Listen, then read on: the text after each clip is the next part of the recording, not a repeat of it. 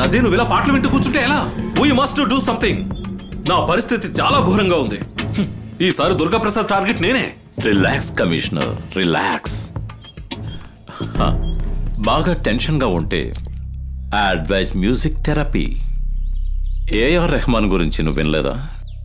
What a great music director lawyer గారా? Drink తీసుకుంటారా? No thanks hey you are looking beautiful commissioner చాలా డల్గా ఉన్నట్టున్నారు.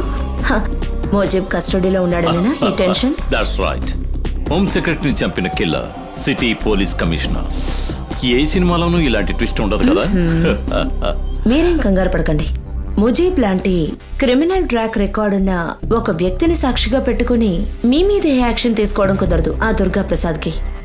ఆ తర్వాత బ్రెయిన్ మ్యాపింగ్ నార్కో అనాలిసిస్ ఇవన్నీ సప్లిమెంట్ ఎవిడెన్సెసే ఇవన్నీ కోర్టులో ఎదుర్కొందాం? ఆఫ్ కోర్స్ సరసాలు ఆపండి. వాడి గురించి తక్కువ అంచనా వేయకండి. రేసు గుర్రం లాంటి వాడు. ఆడా మగ తేడా అని చూడకుండా కింద నుంచి పైకి చీరేస్తాడు. Mind it my credibility Paul Annaji Rahman కాలనీలో జరిగింది కేవలం చిన్నపిల్లల గొడవ లాంటిదే. మీ రహస్యాలన్నీ తెలిసిన ఇన్సైడర్ ముజీబ్కి డైరెక్ట్గా ఆ పని అప్పచెప్పుండకూడదు. You are right that was a mistake his mistake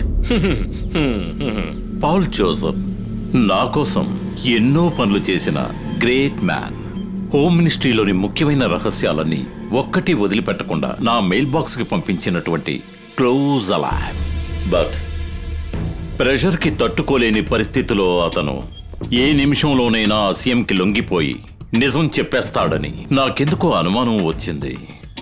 I dialled number అప్పుడు నువ్వు ఫోన్ తీసావు. And Paul Joseph was brink dead right నీకు అనిపించిందిగా పై అధికారులతో నీకు తెలిసిన నిజం చెప్పాలని. నేను ఇంకో ఫోన్ చేయాల్సి వస్తుందేమో. ఈ స్క్రీన్లో పది డిజిట్స్ వచ్చిన తర్వాత మర్డరే. What an idea sir ji Annaji listen. ఇలాంటి పరిస్థితుల్లో మనం ఇంకొంచెం స్ట్రాటజీగా ఉండాలి. యూస్ యువర్ పొలిటికల్ ప్రెషర్ రాజకీయ బలంతో మాత్రమే ఆ దుర్గా ప్రసాద్ని అడ్డుకోగలం. ఏదేమైనా ఆ దుర్గా ప్రసాద్ని ఇన్వెస్టిగేషన్ నుంచి వెంటనే మార్చేయాలి.